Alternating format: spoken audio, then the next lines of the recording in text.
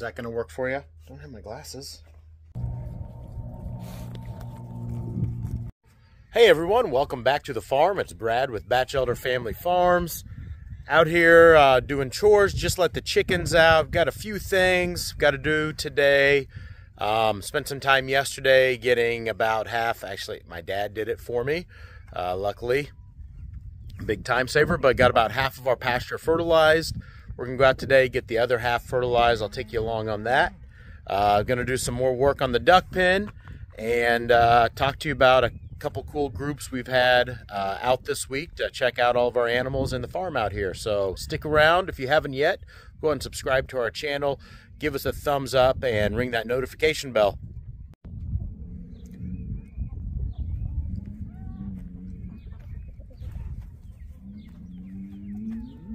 Whoa, easy. All of our chickens just found out the other day when I came down to close them up with Jenna at night that we have 43. 43 chickens.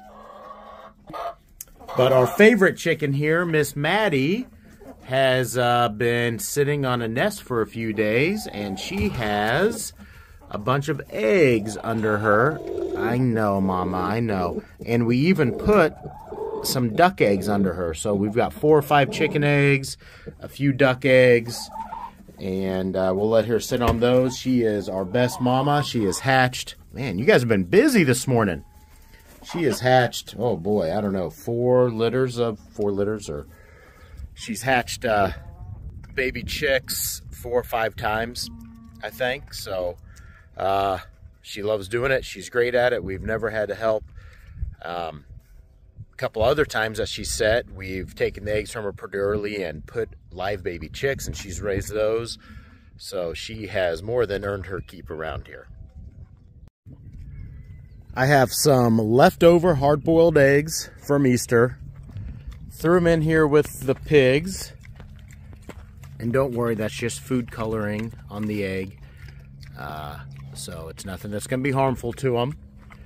I didn't know if the chickens or the pigs would eat it, and as soon as I threw them, Spike is devouring it. Brick has already eaten two. Oh, sorry, buddy.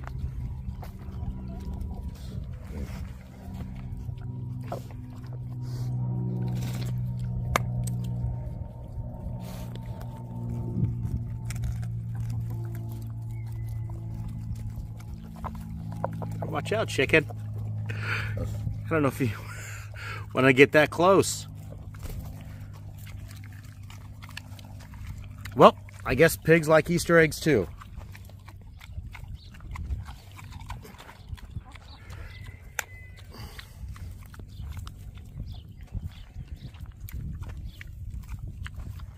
Is that good, bud?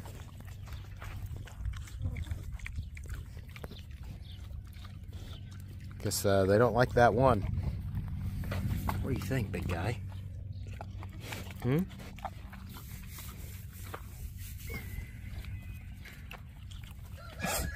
Oh, bless you.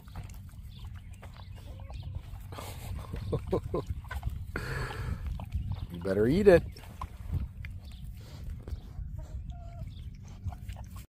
Down here at the duck pen, kind of walk you through the next steps of what I'm going to do to kind of secure, to try to secure it, and uh, hopefully make some progress on that today. Here's our original chicken pen.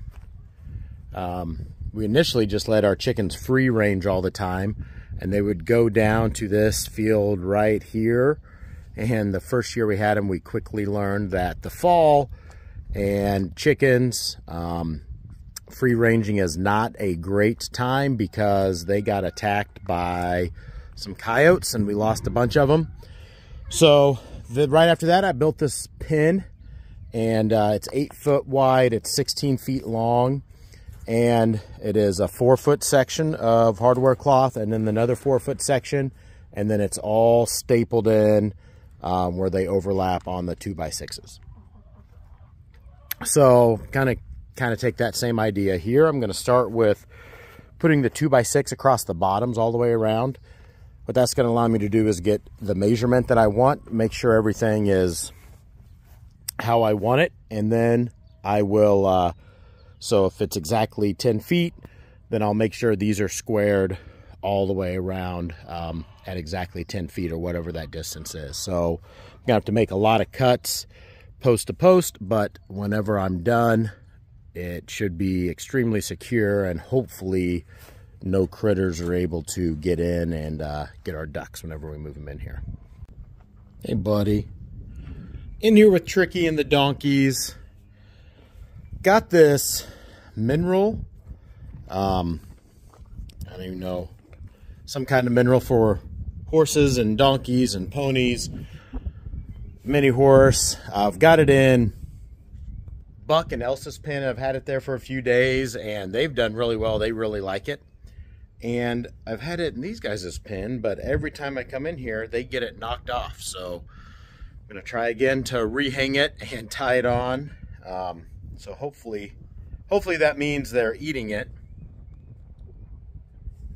Yeah, you like that? And that's why they're messing with it, or that's why it's coming off and they're not just messing with it. We'll see. All right, is that gonna work for you? Don't have my glasses. So we've got it on the rope, tied up tight, big knot on the bottom so it can't slide through. They can knock it up and down a little bit. Hopefully they're liking it. I don't know.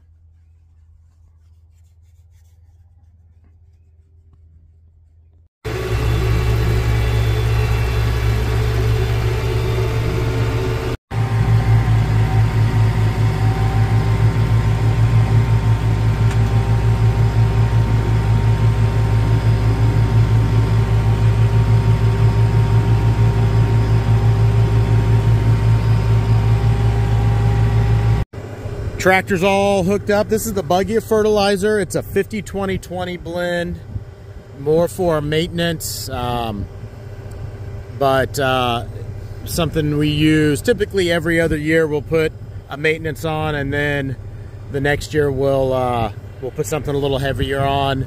I didn't get to fur or I didn't get to check my pastures, so um, I should really do that in February so I can get that back, but Here's the buggy, all filled with fertilizer. Dad's gonna run it again, so I'm going to get some uh, footage of him spreading it and get our fields fertilized. So there's a little conveyor belt, you can kind of see it. Uh, whenever he puts this little wheel down that's between these two big tires, it'll run that conveyor belt, that'll feed the fertilizer onto the spreader and when it starts throwing fertilizer, it's a 50 foot spreader, so it'll throw fertilizer 25 feet on each side. We try to overlap it a little bit, go about 20, 22 feet on our pass, and then just that way everything gets a nice thick coverage.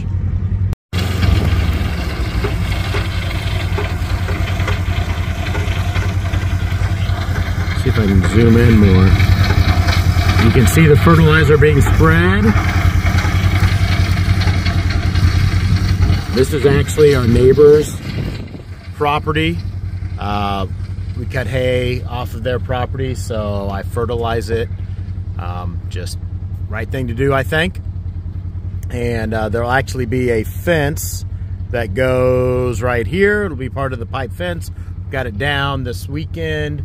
We should get more fence up and uh, be real close to letting the bison out here. But my dad will fertilize all this. Probably got a couple hours of fertilizing today. I really appreciate that because that saves me time. It's going to allow me to go back, work our store, and work on the duck pen and hopefully get that stuff done. Bison nap time.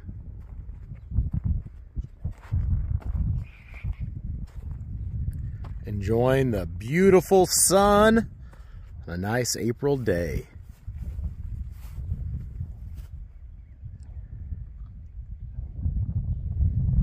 Three of the new ones that we just brought home a few weeks ago.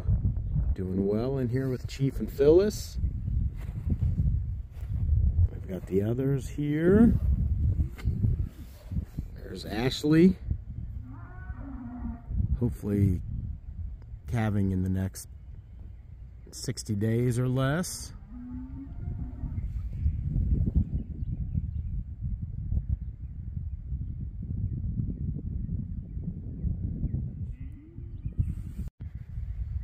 Well, what are you doing? You never get this close to me. Let's see if you keep following me.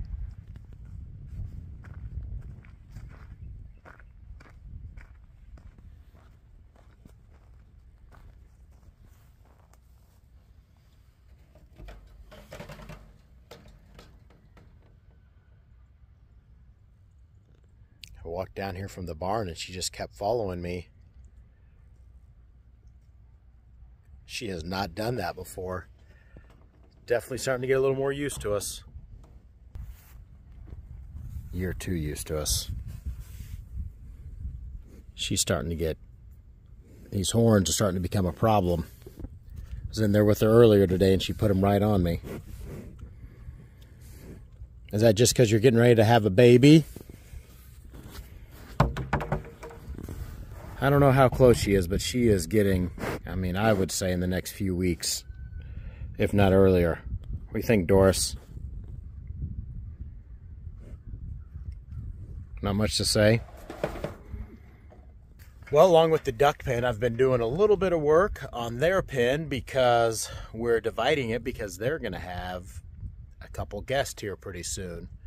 Um, not going to say what it is yet. We're pretty excited about getting them but they're going to have a uh, couple of really close roommates. Think you guys can handle that? All right, now I'm walking back towards the barn. Let's see if she'll keep following me.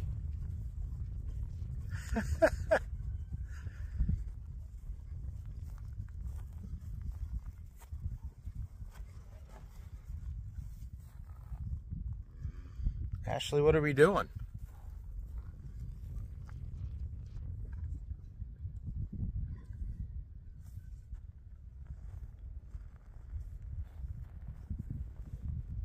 What are we doing?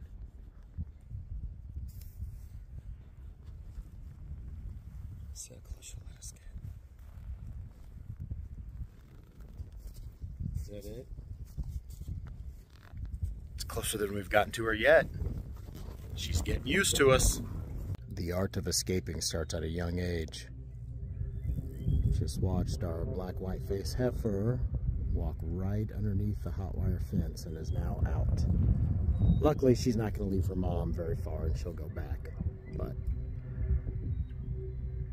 it's amazing how early they start wandering.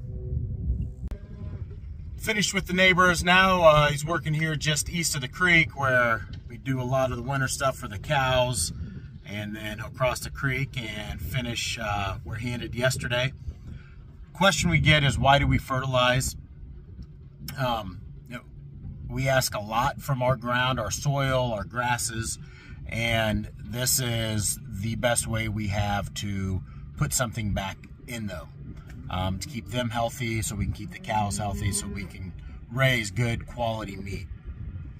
In 2022 was the first time that I didn't fertilize since we've been here. Uh, we bought the place in 2015. We fertilized every year.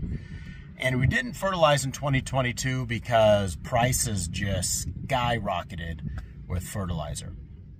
So I didn't think we could afford to fertilize. And what I quickly found out is it almost cost us dearly to not fertilize. Um, we had to drastically reduce our herd size, spend a lot more money on hay because we didn't have the good quality grass to support them. And these animals, while we hay them in the winter, they thrive on grass. They survive on hay and they thrive on grass. So after uh, after that year, I said I will never again not fertilize my land. And even though prices are much higher than they were pre-pandemic, it's worth every penny to fertilize. And it's worth even more if you can get your dad to fertilize for you. So that's a huge time saver.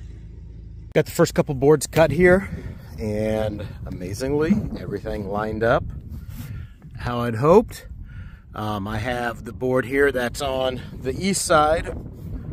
It'll be in the middle to this post and then it just overlaps on this side. Just uh, cover up the the corner there, but I'll get those attached and then I'll move around to the other corner over there. Here is my theory. So I've got this corner on and across the front here, same over there. And if you want to get in here and look really close and you can see there's like gaps in these boards, that's because these are all leftover boards that we've had out here for a year, two years, however long. So they've warped, can't take them back. It's a duck pen. It's not our house. It's not a structure we're going to live in. It's going to be perfectly fine. It's just not going to look as pretty as a nice straight board. But back to my theory. So all the posts are in concrete. I've still got to do this section right here and I'll measure that off. Then in theory, I should be able to cut two more boards for each post going up. And that is going to allow everything to be the exact same distance on the bottom, middle, and top. I don't know if that'll work out exactly or not, but that's the theory I'm going with. Jenna just brought Owen home and he wants to go ride in the tractor with his papa. So we're heading out right now. But I wanted to get down here so you can see what the fertilizer looks like when it spreads. Uh, this is an area that is all dirt right now because it's where we drive a lot so it doesn't get much grass. But you can really see what that fertilizer looks like. So Next time it rains, the cows will walk on it, that soil will soften up, and that will get down into the soil and replenish many nutrients that are missing. Looks like he might be getting close to the end. Checking to see how many grain, or how many grains, how many, how much fertilizer's left. Got any left? Got any left in there? Somebody wants to ride with you. Who do you think? He saw your truck.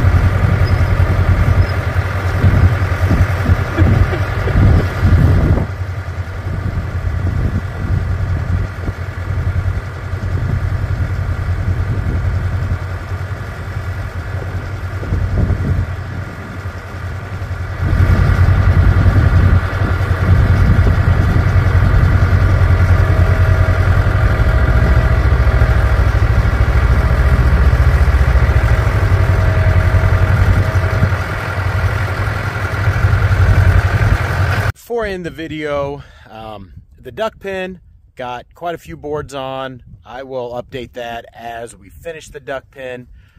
Uh, getting everything fertilized, that is a huge help. Got to spend a lot of time with the animals today. But I want to talk about a couple days this week. I didn't record, hey Phyllis, I didn't record any of this, but it was an awesome week here. Um, we had the group from the high school back out, the same students that have been coming. They came out, they were able to be outside. It was a little chilly, it was a little windy, but those kids got right into whatever chore we were doing feeding the buffalo, the horses, the donkeys. Uh, they loved Larry the emu, the chickens, door start. They got right in, they fed all the animals. They were here for just over an hour, I think maybe a little bit more. He said it was chilly that day, it was windy, but those kids still love to be here and are a big help uh, whenever they're here. That was a lot of fun. Then the next day, we had a group contact us, a group of homeschool students and uh, homeschool families, and asked if they could come out. And they brought, I think there were eight or nine kids. And I had an absolute blast. They were here for almost two hours. They got those, and they were all boys, and there was one girl, and they got out of the car and they just ran right over to Tricky and the donkeys, to the buffalo, started feeding them. They were very respectful kids and listened and, and just jumped right in and fed all of the animals, asked all sorts of questions. I think I I know they had a good time and I think I enjoyed it more than them. And that's just it's such a blessing for us to be able to do that, to be able to share our love of animals and the animals uh, with other people. So really appreciate those groups coming out. Hope you enjoyed the video today. Hope everyone stays well, and we'll see you back here real soon.